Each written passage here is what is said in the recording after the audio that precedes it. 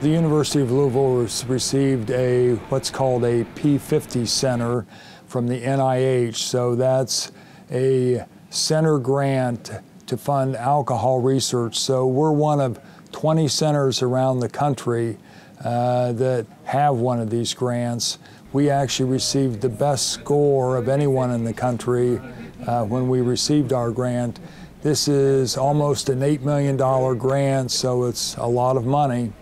And it facilitates uh, doing research in the problems that alcohol abuse can cause and also allows us to look at potential beneficial effects of alcohol. Our center is going to look at the interactions of alcohol and lung injury related to pneumonia, uh, ARDS in the ICU.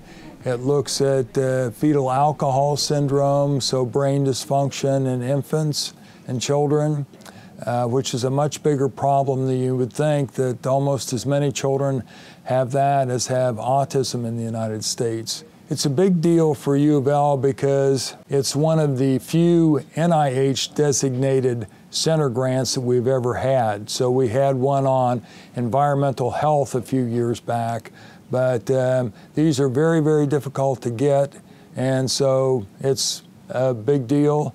And it's also important for uh, the community. So we interact with the community in educating people about healthy drinking, uh, not abusing alcohol. We deal with uh, college students uh, related to binge drinking.